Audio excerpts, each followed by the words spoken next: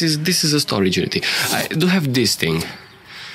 This is a gaming keyboard, and this is what I'm going to use. Remember, remember those times when uh, keyboard came with a user guide? Yeah, me neither.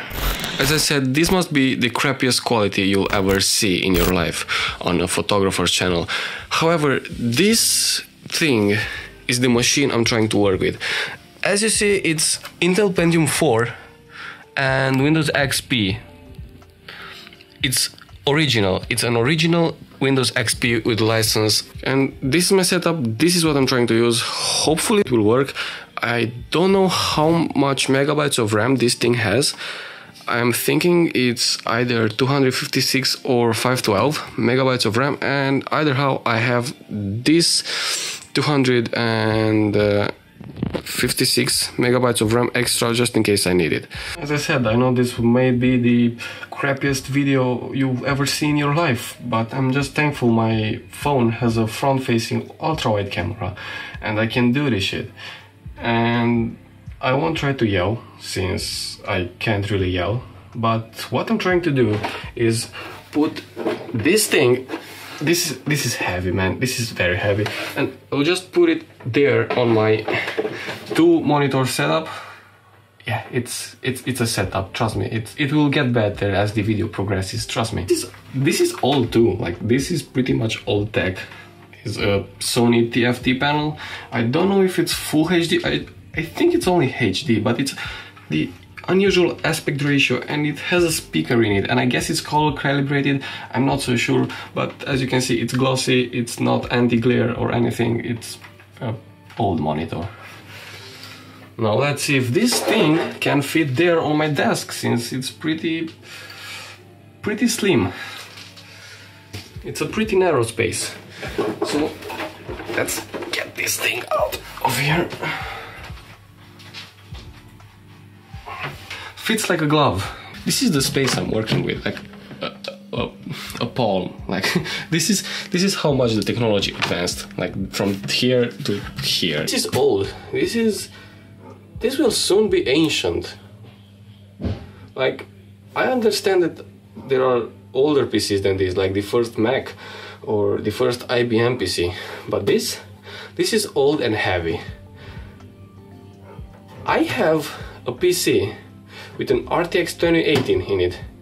And I swear to God, this is heavier than my PC.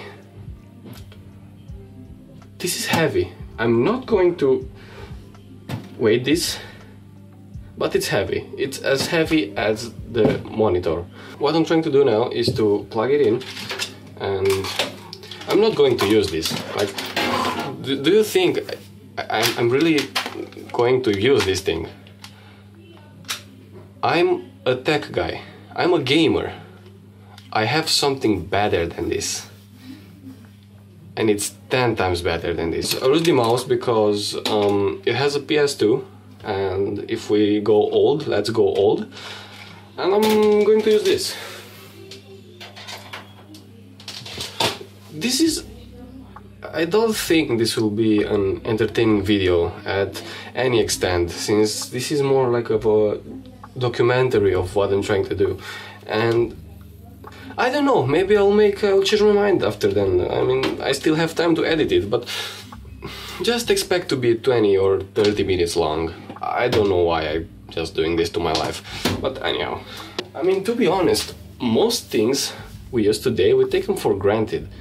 And all those things we didn't have like an on-off switch on the power supply. We didn't have that.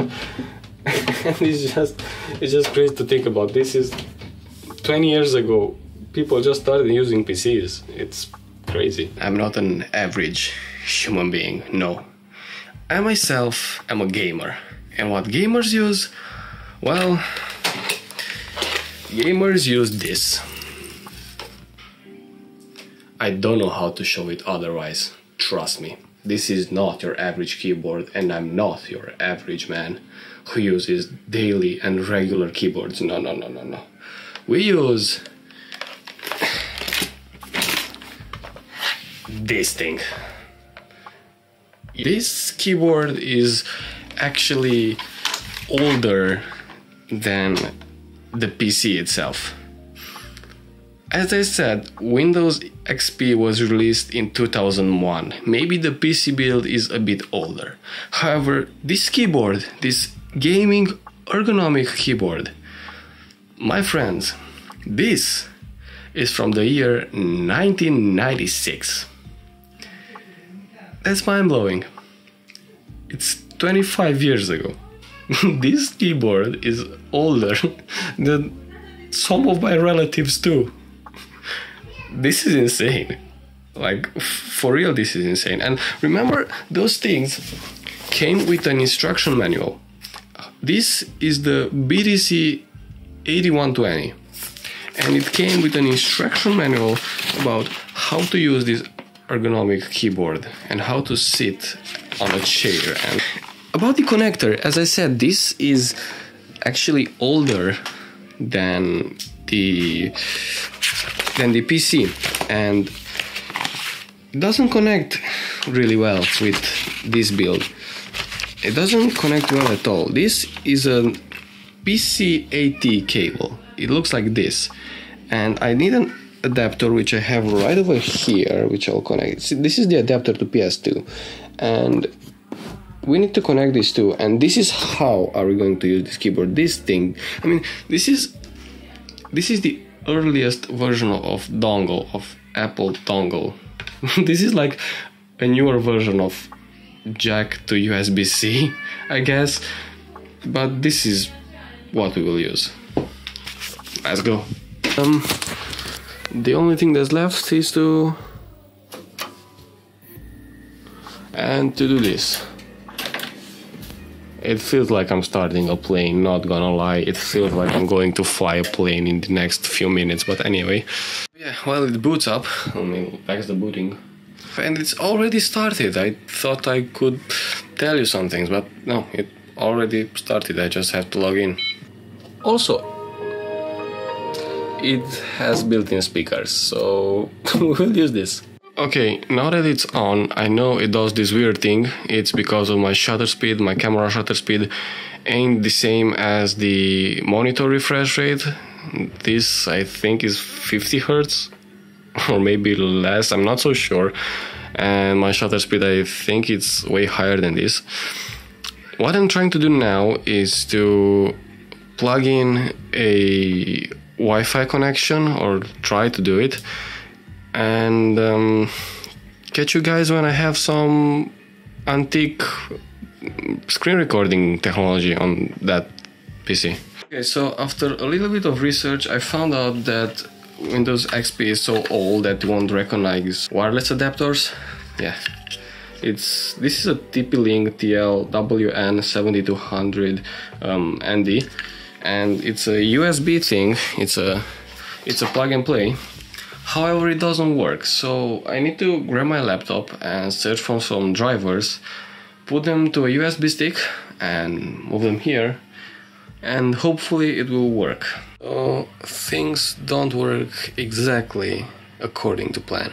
At the moment I don't have a USB drive and I thought I had one, however I don't. I found the drivers for the internet adapter, but my f- I moved them to my phone, and I can't make the stupid PC recognize and install my smartphone. This is another thing we take for granted. The fact that you just take those both USBs, you plug one into a PC, plug one into the smartphone, and it works like magic. However, this is not the case here since I can't really make it work and this is only the first problem I have the fact that I can't connect this PC to a network and then the second problem I have is that I need to find the earliest version of Photoshop which is hard in its own right just to find it and then to make it work. I'll try my best.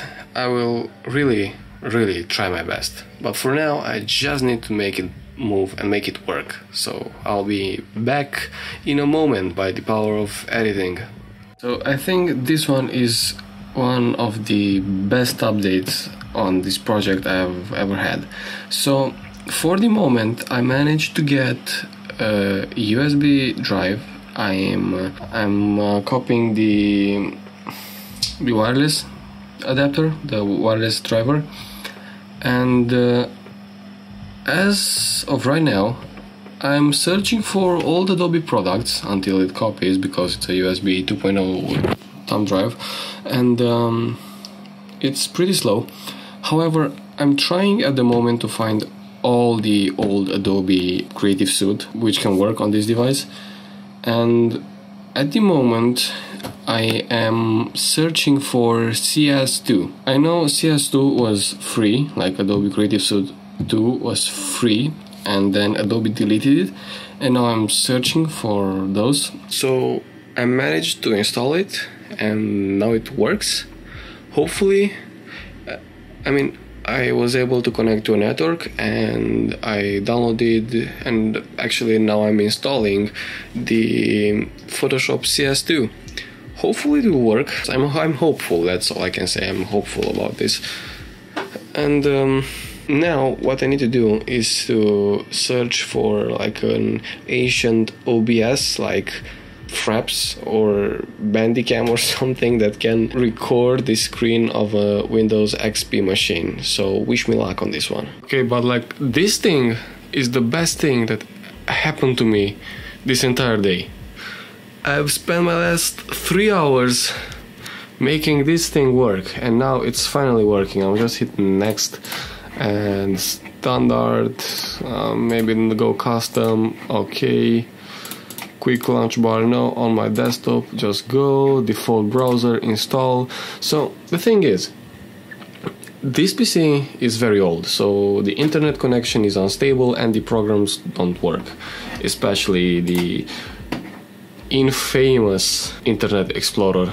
Like this is IE8 I guess let me let me check. No it's actually 6 this is IE6 this is oh my god this and also you may realize it's a blank screen and I'm gonna do an I'm gonna shut up and make an ASMR of the keyboard so let's type.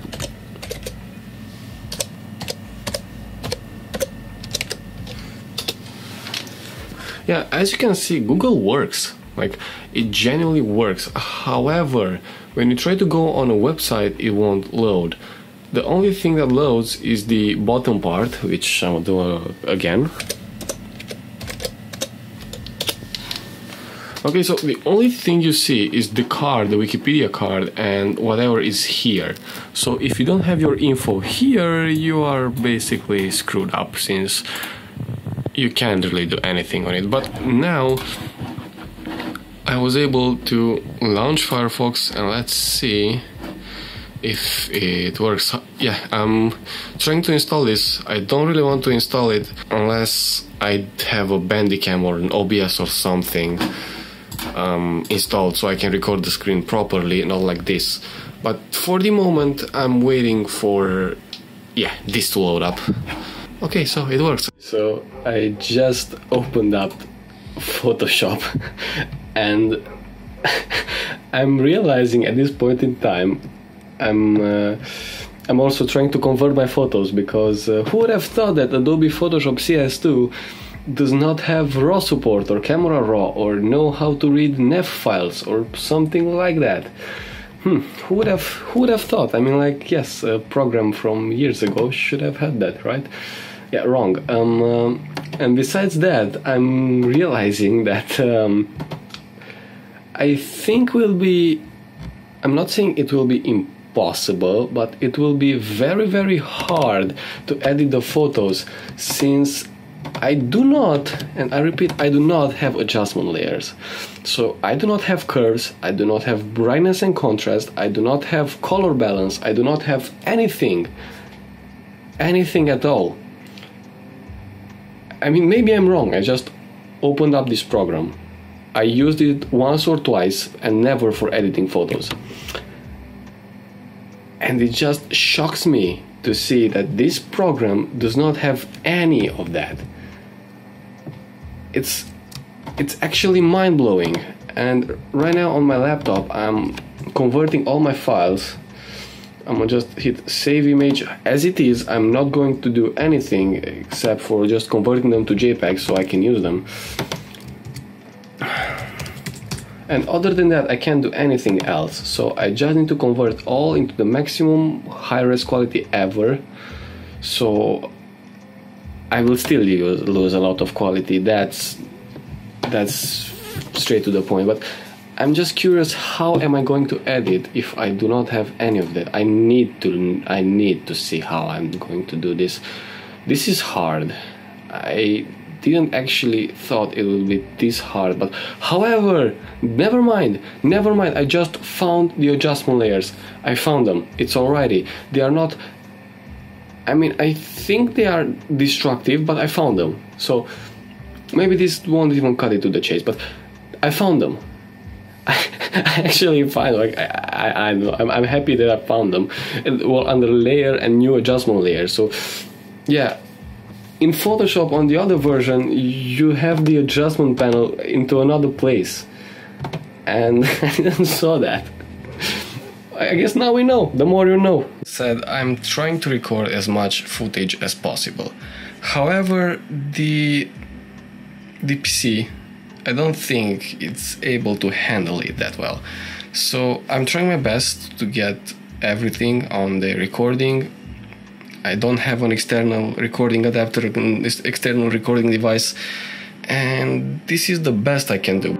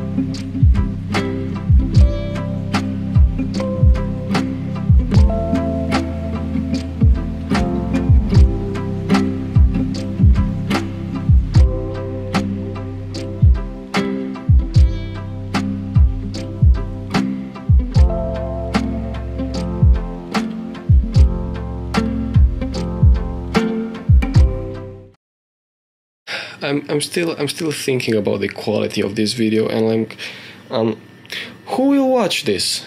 I don't know. Will someone watch it? I don't know. Why am I doing this with my life? Well, I'm still I don't know, but